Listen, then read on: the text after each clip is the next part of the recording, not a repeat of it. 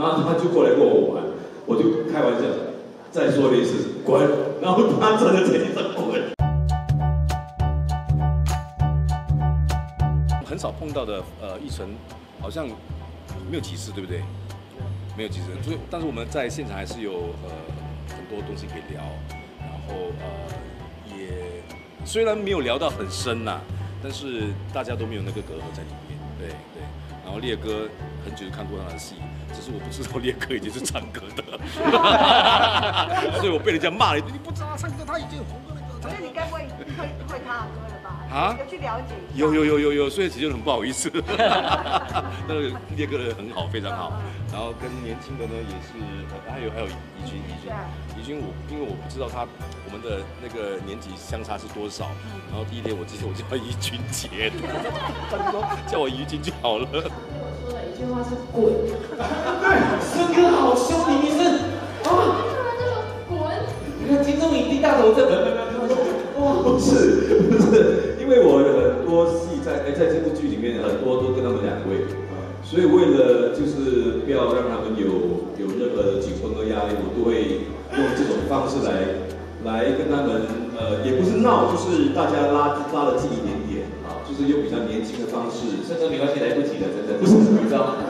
因为新生代是这种态度，大家都我可能还以为，我记得有一次我们在那个法还在解释法庭后面，然后他就过来跟我玩，我就开玩笑，再说了一次滚，然后他真的在地上滚，那你真的滚啊！而且他滚的蛮好的，我觉得。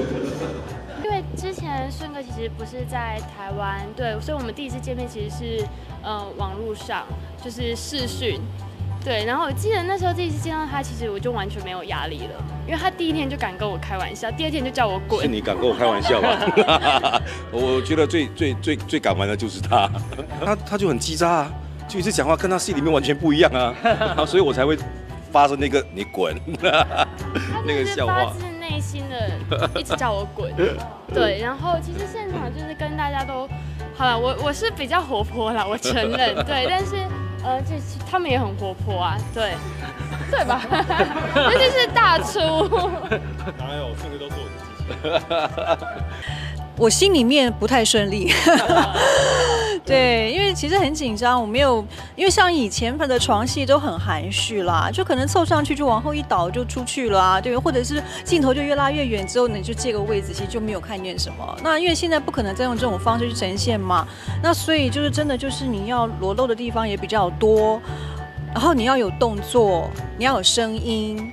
就很可怕，然后对，然后我就那一天我拍，我还带了一个小酒瓶在身上，然后晚上放饭的时候就赶快拿出来灌灌灌灌灌，我想把人灌的慢一点之后会不会比较好一点？结果就灌灌灌灌完之后就发现到酒量怎么忽然间变好了，你的注意力就越来越集中，越来越集中，你知道吗？就觉得啊完蛋了，我死了，我死了，对，然后后来就只能就啊一不做二不休，就这样子。只能把那个你的灵魂跟你的身体就先暂时分离开来，就是这样子。对，有啊，有 NG 很多次啊，因为？嗯，还已经很熟练，可以继续拍。很熟练没有啦，可能要等到再跟宝驹再试过一两次以后，才会比较熟练。完了完了，导演现在开始在想 第二季要怎么接。